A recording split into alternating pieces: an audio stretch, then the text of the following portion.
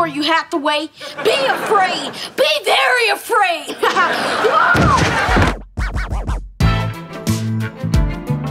Hey, my name is Benjamin Flores Jr. I'm an actor and I go by Lil' P-Nut. YouTube views, videos, and promos, a couple of movies and a couple TV shows. Been at it since the age of four. Now Nickelodeon bound with the major shows. I started off rapping because that was like my passion. Um, I always used to rap when I was four years old. Used to walk around the house a lot and rap about everything that I saw. But I see you choosing, and you get me choosing.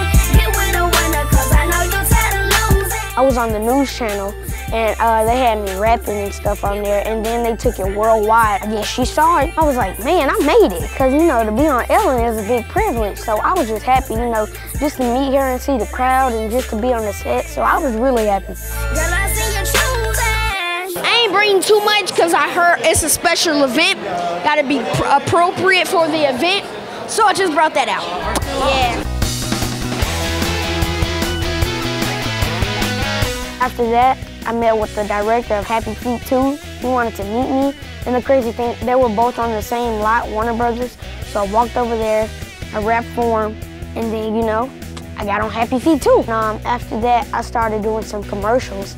And then a Haunted Hathaways called me. And they was like, um, hey, we really want you to audition.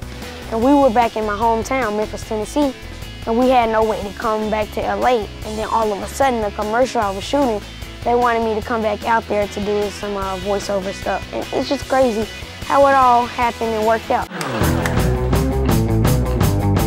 But this is pretty fun because I like coming in here and reading the scripts and stuff. And I get the scripts done pretty fast too, so. Two weeks. How in the world will you ever get through this without me?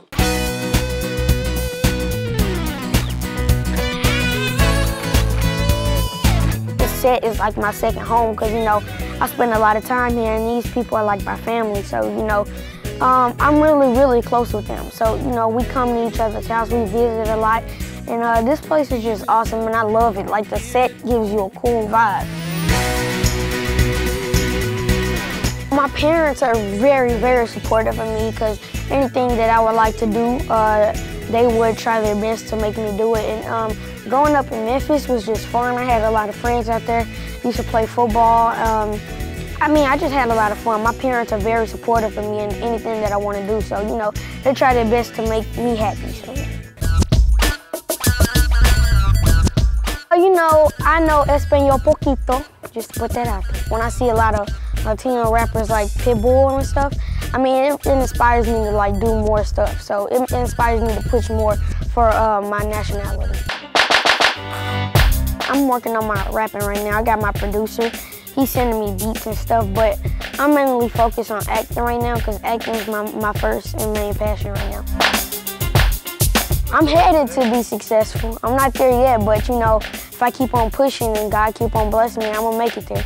So you guys keep a lookout for me. I'm gonna be doing a lot of big things.